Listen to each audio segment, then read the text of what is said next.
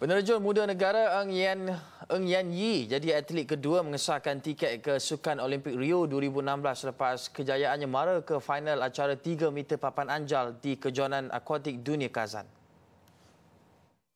Kejayaan Eng Yan Yi hadir selepas Ratu Terjun Negara Pandalela Rinong jadi atlet pertama layak secara merit ke Sukan Olimpik Rio 2016. Yan Yi pada mulanya tidak diletakkan harapan untuk layak ke Olimpik Rio kerana peluang lebih cerah milik Cheon Jun Hong.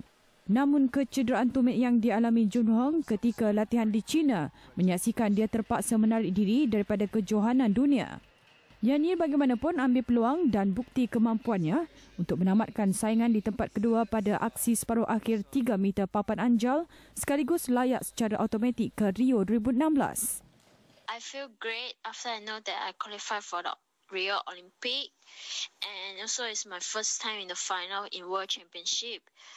Uh, I'm very thankful to my all my coaches being so patient to help me during training and competition, and also thanks to my parents being so supportive all this while.